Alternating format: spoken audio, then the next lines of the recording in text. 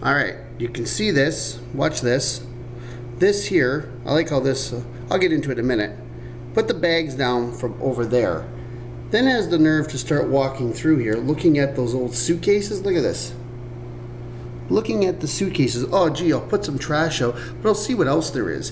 Now, if you look at this person, it almost seems as if, and the guy has two dogs following him, but one would almost believe, if you look, that the person's wearing a hoodie, and maybe I'm wrong, but it almost looks like a mask over their face so they can't be seen to who it is dumping the garbage.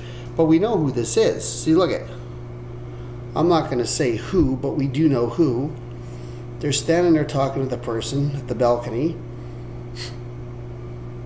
Okay? Do to do, we'll speed it up a little bit here. Get a move on. You can see that happened, by the way, at 1:07 a.m.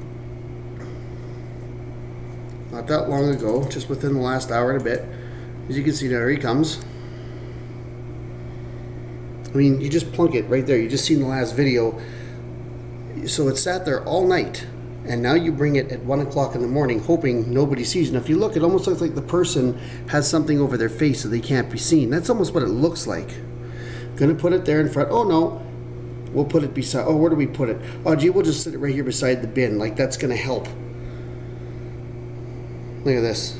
He's got two dogs. You can see he's goes over here, looking uh, around people's balconies. It almost appears.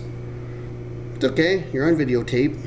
You're recorded. I mean, you couldn't put that trash. So, I mean, are you kidding me? We know who this is, but it's just there's something very wrong here.